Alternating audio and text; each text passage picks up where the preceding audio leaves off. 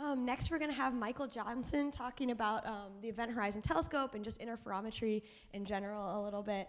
Um, and Michael Johnson is a um, astro- uh, astrophysicist at the Harvard Smithsonian Center for um, Astrophysics. Um, he did his PhD um, at, at uh, Santa Barbara, but he also was here for his undergrad at UC, uh, USC. So it's great to have him back in Southern California. We have to keep him here. But uh, so Michael is um, one of the leads for the imaging working group for the Event Horizon Telescope, but really kind of Michael has his fingers in basically every part of the project. So if you have any questions, I mean, there's lots of people here, but Michael is a great resource too. So anyway, with that, uh, let's thank Michael for joining us. Thanks. Uh, well, thank you, Katie, um, and welcome everyone. So, out in the sky, tucked in between the uh, constellations of Virgo and Leo, is this giant elliptical galaxy called M87. So M87 is a huge galaxy, but it's about 55 million light years away. And what that means is that even with the best optical telescopes in the world, all you can really see is a ball of stars with a faint jet extending from it. So here's an image uh, coming into view from, from the Hubble Space Telescope. Now it turns out you can actually achieve higher angular resolution with radio interferometry. And so we're able to then see these, this prominent jet extending from the source. And as we push to higher and higher frequencies, the jet becomes more and more translucent. And we can look through all the way down to its heart when we finally get to this image, uh, which is the Event Horizon Telescope image at 1.3 millimeters. So what I'd like to tell you today is, you know, how did we actually produce this image? How, how did we achieve this resolution? And, you know, what might we do next? What, what can we re really hope for? And to start with, you know, there are really two things you have to grapple with with this image, two sort of extremes that are, that are very hard to wrap our head around. And the first is just how big this black hole is. So to put this in context, if the Earth were compressed down to the size of a black hole, it'd be about an inch across. You could hold it on your finger. M87, for comparison, the black hole would extend beyond the orbit of Pluto.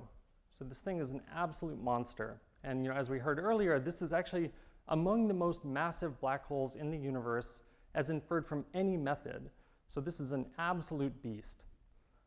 Now the paradox is that even though we have this gigantic black hole, it's actually microscopically small on the sky. Okay, so the, uh, the, the, angular size of the M87 black hole on the sky is about the same size as a donut sitting on the moon. Uh, or it's about, also about the same as an atom held at arm's length. And so this really requires a new type of telescope. You know, we saw we're, we're many orders of magnitude, or several at least, below uh, what, what something like Hubble can see.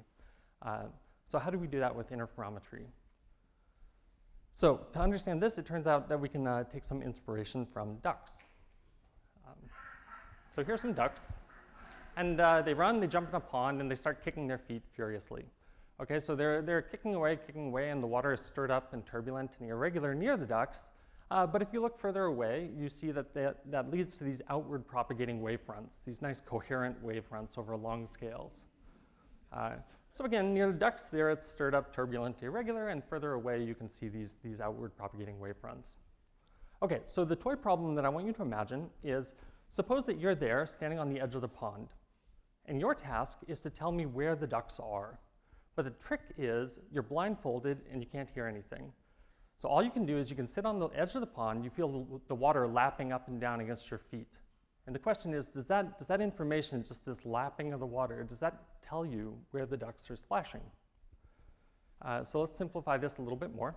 Uh, here's our cartoon version of the problem. Uh, we'll do these two experiments. On, on the left, we have ducks that are very close together in the pond, and on the right, we have ducks that are spread apart. So let's uh, do the ones on the left first. We'll let them start splashing away, near the center, it's stirred up, uh, stirred up and irregular, and then you see these nice smooth outward propagating wavefronts. And again, I, I want you to imagine that you're standing on the, the boundary of this pond, and you're just feeling this water, you know, slosh up and down. Okay, let's run the second experiment now. We have these ducks that are further apart. They start kicking. Again, it's very similar. Near the center of the pond, it's uh, stirred up and, and, irregular, and then we have these outward propagating wavefronts. And again, just imagine that you're standing there on the edge of the pond, feeling that water. So you can see that there are some differences here. Uh, the first thing, though, is the, the similarity. So if you look at just the amplitude of this sloshing pattern, it turns out it's the same in these two cases. So if you're standing there and all you know is how much the water is sloshing, that actually doesn't tell you anything about where the ducks are. That just tells you how many ducks there are in the pond. It tells you sort of the total power of their combined sloshing. However, suppose you have a friend and they're standing near you on the pond. And suppose that you're both feeling the sloshing pattern and you're able to compare that. Okay, so if you're standing very close to each other, maybe they're right next to you, you'll, you'll see the same pattern. And as they move away from you at some scale, you start to see different patterns. It, it decorrelates. And in this particular case, the decorrelation is what's different between ducks that are spaced close together and ducks that are far apart. And so this begins to tell you, you know, what is so special about interferometry. What we're after in this problem is measuring the correlation properties around the boundary of this pond. Now, this is a very whimsical example. Uh, it, may, it, might seem kind of irrelevant, but it's actually very closely tied to the astro, uh, astrophysical case. So uh, for something like M87, we don't have ducks, but we do have electrons. And the, these electrons gyrate around mag magnetic field lines. And as they do so, they're sending out ripples of, of electromagnetic radiation uh, towards the telescopes on Earth. And we're not standing on the edge of the pond, but what we do have is we have these telescopes that we can space as far apart as possible, and they measure this incident rippling electromagnetic field. They record that, and then after the fact, what we do is we form pairs of correlations between every pair of telescopes. And they're just comparing these ripples of the electromagnetic field and calculating how correlated those patterns are. And it turns out that that's enough information to then make an image of the source just like it's enough information in the pond case to tell where the ducks are splashing. So this is, uh, this is called synthesis imaging. This was pioneered by Martin Ryle, who actually won the Nobel Prize for it in 1974. Um, but what I'd like to do next is actually walk through the mathematics of this and actually uh, connect with exactly what is being measured and how we can use that to make a picture. So to understand this, imagine that we have a point source of emission that's right uh, at the origin and it's being observed by a pair of telescopes. Okay, so the first thing you have to understand is that astrophysical sources emit noise. Okay, this is a very strange concept, but, but they're actually emitting uh, just you know, raw Gaussian noise. However, since the path length to both telescopes is identical in this case, if you form the correlation between the electric fields that they measure, it's always going to be the same number. Uh, it, it, just tells you the total intensity of the source. They're, they're receiving the exact same signals. Okay?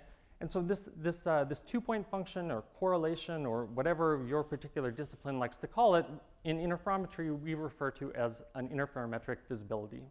Uh, but it's a very, very simple quantity. So in this particular case, uh, the, the, the, uh, the visibility measured is, is just going to be the total power emitted by this source, and that turns out to be independent of the baseline length, the separation between the telescopes. You can move them apart or move them together, they always see the same thing. It's very special. And one other side note is that they're, they're actually receiving this field, they're, they're sampling this Gaussian random field. And Gaussian random fields have this wonder, wonderful property that actually all of their information is contained in the two-point function. So it's not just that we're measuring this simple, uh, this simple quantity, it's actually, that simple quantity tells us everything there is to know about the field. There's nothing else we can learn. Uh, so that, that turns out to be very powerful, as we'll see in a moment. Okay, now let's suppose that we take that source and we displace it. So we move it off the origin. Now in this case, the lengths to the two telescopes are no longer equal. And for, uh, for a propagating wave, that will introduce a phase uh, delay between the two telescopes. So it's pretty easy to show that the, the, the, the difference in lengths between the telescopes is just that, that baseline between them times the angular displacement to the source. And so the equivalent phase delay is that we'll take our total power measurement uh, in the visibility, and then it gets multiplied by this, this factor e to the minus 2 pi i times u, which is the dimensionless baseline, just b, the, b over lambda, uh, and then multiplied by theta, where theta is in radians.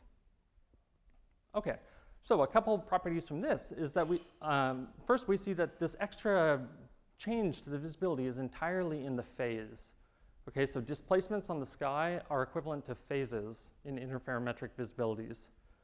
Um, and that depends both on the baseline length and the displacement and the angular displacement. The second thing you'll notice is that the visibility amplitude is actually unaffected.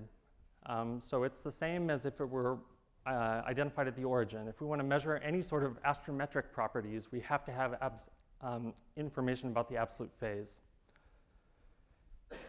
The characteristic resolution in the interferometer can also be seen this, by this equation. So you can just look at when that the argument to the, the exponential would be unity or 2 pi or something, and it tells you that the characteristic resolution of our interferometer is like something like 1 over u or uh, lambda over b. So this looks just like a diffraction limit.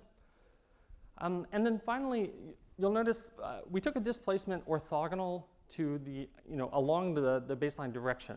If we had moved the source uh, closer to, to the telescopes or further away or out of the plane of the page, the lengths to both telescopes would have been the same. So what this means is that baselines only see information that are uh, for displacements that are along their direction. Um, so another way to think of this is baselines live in line land. And uh, interferometric arrays see this two-dimensional source. They live in flatland, but poor baselines, you know, they only see one-dimensional information about sources. Uh, and so you, if you want to piece together information about a source, you can't just take one long baseline. You need baselines at lots of different orientations uh, to patch all that information together. So again, this, this seems like a pretty standardized problem, but it's very easy to generalize, and that's because astrophysical sources are uh, spatially and temporally incoherent. And what this means is that if we have some extended distribution of flux density, any image we like on the sky, then we can just integrate that up, and so we get this, uh, this relationship between the visibilities measured by an interferometer and the image on the sky. And this is known as the van Zernike theorem. Now, uh, for those of you who have taken anything on Fourier analysis, you'll recognize that you know, the visibility in image relationship here is just a Fourier transform. And this turns out to be tremendously powerful. So the, what it's saying is that the visibilities measured by an interferometer are just the Fourier transform of the image on the sky. And that means every sort of nice property that you know for Fourier transforms has some corresponding uh, interpretation in terms of visibilities. Uh, a couple other properties you'll notice is, um, first of all, the visibility magnitude actually has to be maximum at, on a zero baseline. In the case of the pond, that's not surprising, right? You see the most correlated fluctuations around the boundary of the pond when, when your friend is standing right next to you. There's no way that it can become more correlated than that. And in this case, you can see that very easily from the integral. And that, that visibility magnitude will start to fall as baselines begin to resolve the source. Um, Okay, so here are a couple of examples, uh, just toy models. Um, the solid line here is a Gaussian. So the Fourier transform of a Gaussian is a Gaussian. Uh, that's, that's a property that uh, is very familiar.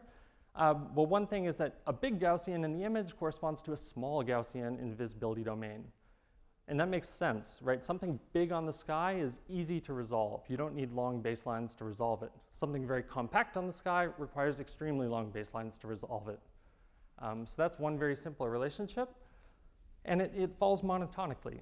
Uh, however, these other sources, a disk or an optically thin sphere or a ring, they don't fall monotonically. They have additional structure on the long baselines. But what you'll notice is that to, to a short baseline, these all look pretty similar, right? It's not until you push to those long baselines that your interferometer can see the difference between all of these different sources.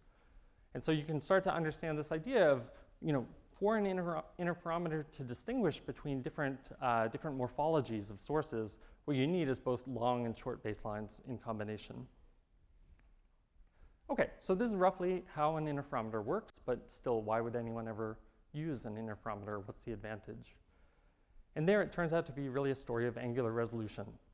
So for ordinary imaging, Resolution just depends on the diffraction limit, at least in, uh, in the ideal case. And we already saw that this is lambda over d. Uh, for, your, for your eyes, that's something like an arc minute. Uh, for a radio telescope, you know, a radio telescope can have a diameter of hundreds of meters, but radio wavelengths are so much longer than optical wavelengths that uh, the, the angular resolution of radio telescopes is about the same as your eyes. Um, however, optical telescopes can, of course, be much larger than your eyes and, and uses the same wavelength. So optical telescopes, as we saw, can get down to something like 50 milliarc seconds or so. Now, the magic of interferometry is that your angular resolution depends not on the size of any particular telescope, but on the distance between them. But this comes with a price, and that price is that you're, you're no longer forming images directly. So in an interferometer, every, uh, every baseline joining a pair of telescopes is just sampling one spatial frequency of your image. So one way to think about this is If the image were a song, then each baseline just hears a single note. So if you want to hear the entire song or see the whole image, what you need is many different baselines, both long and short, lots of different orientations, and then you can piece all that information together to form an image. Okay, so pulling it all together, this is the Event Horizon Telescope. Uh, it's not a single telescope, but it's many telescopes all over the world acting together as an interferometric array. And these were all pre-existing submillimeter telescopes, and the, the Event Horizon Telescope project over decades uh, gradually brought them into, uh, in, uh, into the EHT to act as a, as a coherent array. And so this requires a couple of things. Uh, first of all, it, it, requires precisely synchronizing them. Um, and that's because, again, astrophysical sources are emitting noise, which means if you're looking at signals that are delayed by a little bit, uh, you just see nothing. If you and your friend uh, aren't looking at the sloshing pattern at the same time, it doesn't do you any good. You can't compare your sloshing pattern today with theirs tomorrow, right? And so these, all of these signals have to be precisely aligned, and uh, the EHT uses uh, uh, masers for that. In addition to that, um, at submillimeter wavelengths, telescopes can't be very big. And so we have to achieve sensitivity not just through large dishes, but also by uh, recording very wide bandwidths. So we're looking at continuum sources and, and, we're just swallowing as many bits as we can and putting that towards uh, uh, improving the sensitivity of the array. So this is the first image from the Event Horizon Telescope. Uh, that little circle in the lower right is the resolution of the telescope. It's 20 microarc seconds or so. That's the point spread function or, or beam pattern or whatever you like. And so we have this blurring image not because we think that M87 is a blurry source, but uh, because we're really pushing our instrument to its absolute limit here. Um, and if we want to learn more about the source, then we have to, uh, we have to continue to improve the array. So just to tie together this whole picture, this is a cartoon of how the EHT works. The signals come into these telescopes that record the coherent uh, um, electric field to disk. These disks are then all shipped to a central correlation facility, which combines all the different pairs between the telescopes to calculate these correlations. They then have to be precisely aligned, uh, and this is actually an alignment that, that brings them to consistency within femtoseconds. And then after uh, the calibration, uh, we, we pass this to imaging algorithms that try to take these uh, just this handful of measurements in the Fourier domain and to reconstruct the corresponding image. Now, one thing you might be wondering is that uh, it doesn't seem like we, we sample very much in, uh, information. So it turns out in 2017, there were only five EHT sites that could see M87. And that corresponds to a measurement of 10 different frequencies. That's just not very much. How could you possibly form an image with only 10 frequencies?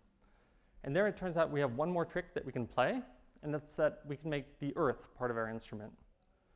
Um, so here's an example. We have a pair of telescopes in the EHT here on the left, and they have a baseline joining them. So on the right, what we have is we're just mapping that particular baseline uh, to, to where it lives in the frequency domain. Okay, so that's measuring a single frequency for us. However, as the Earth rotates, that projected baseline changes as a function of time. So actually that single physical baseline is sampling many different spatial frequencies of the source for us. And so what we do is we take the entire rotation of the Earth and we use it to build up information. So each physical baseline is actually sampling many different frequencies for us. We aggregate that over as many hours as we can, and then we turn all of that information into a single picture of the source. And that's how we get enough information to make images. So here's some actual data from the EHT. Uh, these are the types of plots that you'll, you'll see in our papers. On the left uh, is, is plotting signal to noise ratio of a uh, visibility measurement as a function of baseline length. Uh, so this might seem like kind of an odd thing to plot, but this is actually the thing that's natively measured by an interferometer. It's measured effectively perfectly. Now on the right is after we calibrate that, so we try to put that in physical units, uh, in this case Jansky, which is a unit of flux density. And you see those properties we talked about earlier right? It's highest at the zero baseline, and then it falls off. That's telling us that our baselines are indeed resolving the source. They're, they're long enough to, uh, to see what the source is looking like. And you'll notice something very intriguing about this. It's not falling monotonically. We're not looking at just some featureless Gaussian blob on the sky. And in fact, this, uh, this looks an awful lot like the uh, visibility function for a thin ring. So we saw this type of plot many months before we ever tried making images. And even then, you know, we were really excited, not because we knew that it had to be a ring, but because we knew that there was structure here, right? We, we are looking at the detailed astrophysics of a complex source. Uh, however, to, to, really develop confidence in this and understand uh, to what degree this thin ring might be true, we have to proceed to imaging. So I don't have uh, time to go into details about, about imaging algorithms, but I, I, just want to give you the flavor of it. So imaging algorithms uh, broadly are trying to take a sparse amount of data and to, to determine the image that's consistent with those data that's most conservative. So it turns out for any data set, there are an infinite number of images that can fit those data perfectly. Uh, what we have to do is select from that infinite space of images and, and find representative ones that we think are very conservative. So maybe you want to find the, the image that has the most entropy uh, that's consistent with your data. Or maybe you have other metrics that you prefer to define what conservative means. Now in this particular case, what I'm showing is uh, if you take our data and you restrict it to a single baseline, uh, what's the image that you would produce with that single baseline?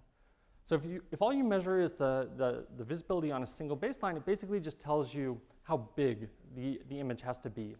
We don't get any detailed information about a ring or anything like that. I, we basically just get a blob. Now, if we add another baseline, this one's along the same direction. So again, these poor baselines are in line land. They're not seeing the full uh, two-dimensional uh, source. They're just seeing information uh, that's projected along their baseline direction. So they get a little more and they can break it up into these two clumps. We can add another site. So now we add our, our data for the baselines to Hawaii, and, and we start seeing much more interesting structure. So uh, we start to see the hints of this ring emerge, um, but still it's, it's rather irregular, and you know, I don't think anyone bet their life on that. Uh, but we add our final site, and this is Pico Veleta in Spain, and all of a sudden we get this, uh, this beautiful final image of the ring. Uh, so it's really, it's really striking in interferometry interferometry, the, the amount of information we have goes like the square of the number of sites. And so it can really be, you know, the addition of a single site can dramatically change what you're able to conclude and study from an image. So uh, this is a picture of the, the, the, the, first time that we ever produced this image uh, within the EHT. And I just want to bring this up because a lot of the things we're talking about today, including interferometry, uh, is really just an incremental uh, step forward of decades of work that's gone into this, you know, steadily marching to higher frequencies or, or adding more and more sites. Um, but this is not all a very old, sort of well-defined field. Uh, a lot of the techniques that are being used in the EHT are being you know, developed as we go, often by very young people.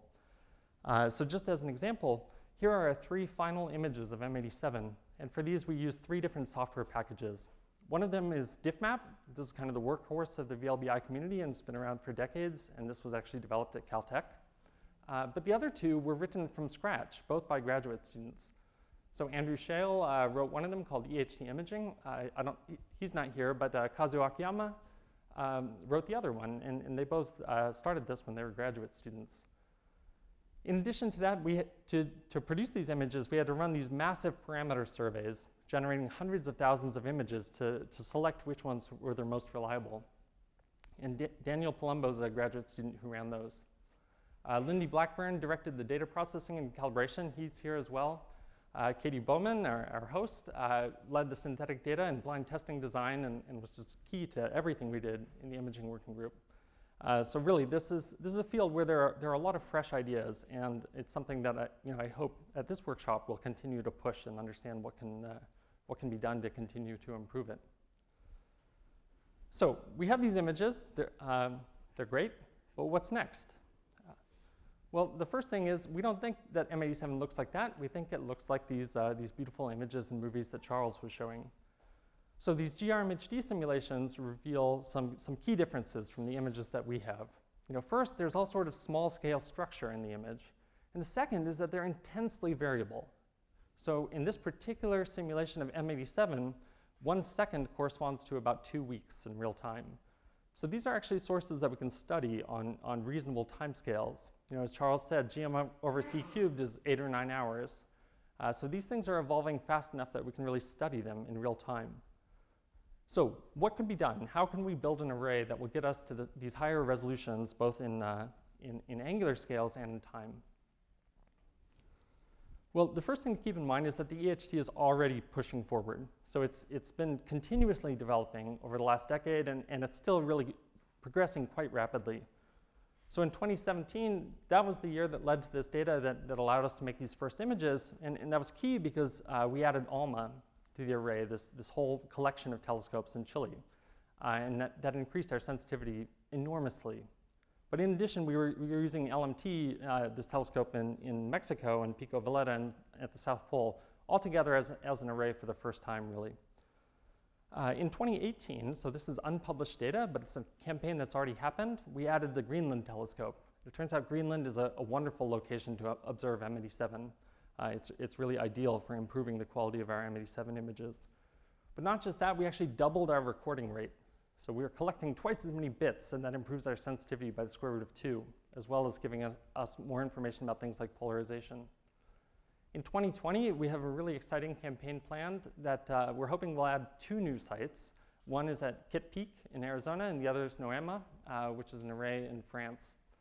And in addition to that, we're going to start exploring more and more tests at 345 gigahertz. So these are 50% better resolution and of course, the, the frequencies coverage is now getting so wide that we can really study new types of uh, physical effects through the frequencies. Um, but here you can see the, the recording rates here have just been, uh, they've been growing exponentially. And, and I think this is why it's, it's such an exciting thing to think about how we should prioritize efforts as we move forward in the EHT. There's really the capability for, for dramatic increases in capabilities. Um, both in terms of the hardware and in terms of you know, con connecting with uh, new scientific ideas. So what might we expect in the very near term? You know, the first is we, we have this ring, but where's the jet? Right? On that zoom-in movie at the beginning, all the other radio frequency arrays see a jet. Every single one until you get to the EHT and it vanishes. Uh, so here's an example. This is a very high resolution image at seven millimeters. Um, and this is produced using data from the very long baseline array. And one thing we've done here is we've actually taken about eight months of data and we've stitched it together to make movies. This is something that uh, Katie and I have been doing a lot of work on. And the beautiful thing here is you see that M87 is really alive, uh, right? The system is, is ejecting material. There, there's all sorts of dynamics, and these are anchored to the black hole itself. So if we can connect to the jet in EHT images, we can start to understand the role of the, the black hole in, in producing and powering this jet, just as Charles was discussing. So why don't we see this in EHT images? Well, one thing is that the dynamic range of the 7 millimeter image that I'm showing is about 10,000. The dynamic range of the EHT image is about 10. Uh, so we have, we have a long ways to go before we can, we can match this dynamic range, and, and we think that there is this faint jet in EHT images that's just waiting to be seen. Now, a big part of the problem that we don't see it is we actually have uh, resolution that's too high. So if you want to see diffuse extended emission, you need short baselines, and that's something that we just don't have right now. So here's an example of, uh, of one mission concept uh, that, that we're considering right now, and that would be to add a bunch of small dishes around the world to add short baselines and to be able to maybe, maybe uh, get this extended emission and, and be able to connect to the jet very well. And the nice thing about short baselines is there's more flux on them. They don't have to be as sensitive. So what we're exploring is maybe adding six meter dishes to the EHT array and putting them in sites that are really suboptimal. You know, they're not they wouldn't be prime candidate sites for, for a sub-millimeter array or something like that, uh, but, but maybe they're exactly what's needed by the EHT. So this is something that I, I hope we can discuss this week. Uh, and I'll uh, direct you to this, uh, this white paper led by uh, Lindy Blackburn and Shep Doeleman um, that kind of lays out the case and, and some of the tests that we've done so far on that. Now, the other thing that we can think about is going to space. So from the ground, we're really approaching fundamental limits. You know, the, the most obvious one is you can't make baselines longer, you know, uh, lar larger than the diameter of the Earth. Uh, so we're always going to be limited to that. Uh, but in addition to that, the Earth's atmosphere becomes increasingly problematic as you go to higher frequencies. So above a few hundred gigahertz, which is roughly where the EHT observes, uh, it becomes opaque. Now, there are some sites where you can observe up to, say, a terahertz, but it's going to get harder and harder a, to have enough sites that you, you have enough baselines that you can actually form images, and B, to, to do observations when they all happen to have good weather at the same time. This is a really severe problem for us. Uh, in addition to that, suppose that we could create better images at 230 gigahertz. It turns out for uh, our galactic center, there's also this effect of interstellar scattering, and that's blurring out the source to roughly the beam size of the EHT. So what, it's, what that says is that even if we could make higher resol resolution images, something in nature is preventing us from having a sharper view of the source. We have to find a way around that. So it turns out space baselines would uh, solve all of these problems. So first of all, at higher frequencies, we get higher uh, image resolution, and um, at higher frequencies, the scattering also becomes much, much weaker. It falls like wavelength squared. The next thing is that with space, we can of course make baselines as long as we want. Uh, we can go to the moon or to L2 and, and increase uh, over what we can do from the ground by, by many orders of magnitude. Um, and another nice thing about going to space is that there's the potential to do faster sampling of baselines. So we have this, we have this method where we aggregate data over a whole night of observations. And that's basically limited by the rotation speed of the Earth. But one thing we can do is we could use low Earth orbiters, and these are orbiting on 90 minute timescales. So those very quickly fill in the UV plane and might give us sensitivity to more rapidly changing intrinsic structures. Uh, so there are a lot, of, uh, a lot of exciting possibilities for space, and it's really dependent on the different orbital uh, configurations that are, that are being assessed. There are, of course, many challenges in going to space. One is uh, sensitivity. So we're, we're already kind of at the sensitivity, you know, we're, we're kind of at the, the, sensitivity limits of the current EHT.